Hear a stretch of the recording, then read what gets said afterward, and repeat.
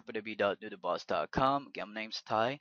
Uh, this video is still a part of the ZTE ZXV1LW300 modem router series video tutorials that I've actually created. Um, you can check out some that might help you in setting up your router or modem. Got listed in there on NoodleWorks as our YouTube channel. But for now, what I would like to show you is uh, on how you can change uh, the password or Wi-Fi password.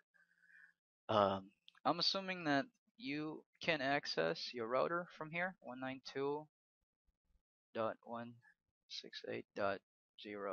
sorry dot one dot one and if you can't there's a different tutorial that we have you just check that out and it should log you in and also I'm thinking that since the question is just on how you can change the Wi-Fi password or the pass key of course you did set up a Wi-Fi network already. If you haven't yet again we have a different tutorial for that. Just look that up in the list below.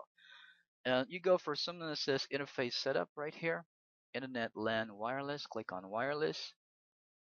And look up for something that says uh, SSID here. This is your SSID or your network name. This is the one that your Wi-Fi devices would see whenever they search for Wi-Fi uh, routes or Wi-Fi signals. So again, the question was just to actually change the passkey. So we don't change that now, just the password. If you want to use 64-bit encrypted password, which basically uses uh, alphanumeric characters. Yes, you can right here. You can do that. Um, this is where you change that.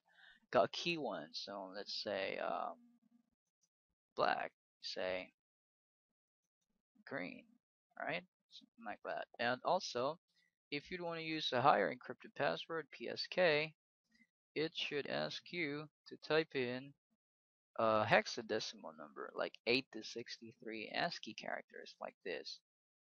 Buy and tell. See that? Pre-shared key.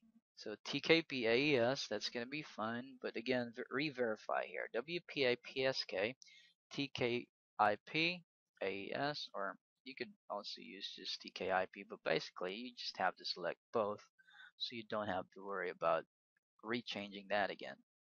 So pre-shared key, again hexadecimal characters. You would need numbers and you would need letters for this. So uh, this is a bit of a higher encrypted password compared to 64 bits.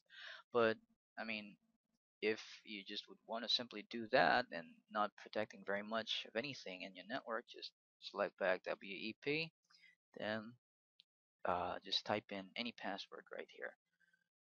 Also, just let me add a little bit. If you want to change the SSID together, just change that from here. Uh, change the network name. Uh, sometimes, if you really would want to change the password, it's always better to change the SSID. Why? Because it's going to cache on devices. Let's say here. It's in there already. It's connected if you just change the password, sometimes it can't recognize that you did change the password. Why? Because it's seeing the same ID.